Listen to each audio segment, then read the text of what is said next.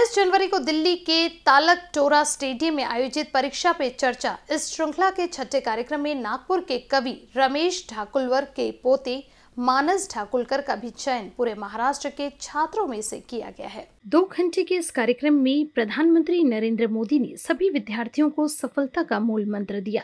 इस कार्यक्रम के लिए मानस का चयन पूरे महाराष्ट्र के लिए गर्व की बात है। मानस ने कहा कि मोदी के हॉल में आते ही सभी छात्रों में काफ़ी उत्साह और आत्मविश्वास था।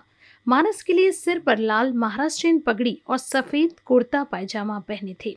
मोदी और मानस की बैठक में मोदी जी मराठी में ही बोले। मानस के साथ फ़ोटो भी खिंचवाई। ऐसे अभूतपूर्व कार्यक्रम में मानस का चुना जाना गर्व की बात है।